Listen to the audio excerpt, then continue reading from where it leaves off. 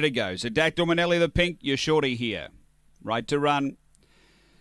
On their way, and Zadactyl Manelli hopped out okay. Canley Jet best out's going to lead. So Canley Jet out by two early on Zadactyl Manelli. They were followed by Max Jake, a couple away. Springvale Schwa, four or five away. Santan Sam, Velocity Lily, Pierce Bale, and out the back, Legit Boss. So they race out of the straight, and Canley Jet giving them something to chase down. Away by three to the back. Over Zadactyl Manelli trying to reel it in. Two to Max Jake, three away. Springvale Schwa, and a big gap. The others headed by Santan Sam, Velocity Lily, and Pierce Bale. Off the bags of Dactyl Manelli. Charging up on the outside of Canley Jet, who's lifting. Five away, Springvale Schwa. They race to the bend. Canley Jet and Zadactyl Manelli. Canley Jet, Zadactyl Manelli. They're driving to the wire. Canley Jet. The well back runner gets the prize. Canley Jet beats uh, Zadactyl Manelli. I tell you what, Springvale Schwa was a nice run too. Uh, then came Santan Sam, Velocity Lily. Legit Boss. It was back toward the tail end. And the time here is around 43 and 10.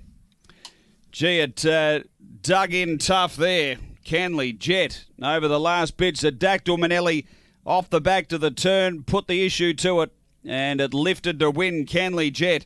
Numbers are 4, 8, 7, and 6. Canley Jet, Peter Jovanovic. Jan Hubbard, a Black Dog, March 2016. Beckham Bale, Canley Ellie. Number 4, uh, second to eight, Zadactyl Manelli. Tony Rasmussen, a Black Dog, June 2015. Beckham Bale, Luba Manelli, a great race. And uh, Springvale Schwa was a nice little run too uh, for Gavin Harris, a Black Dog, March 2016.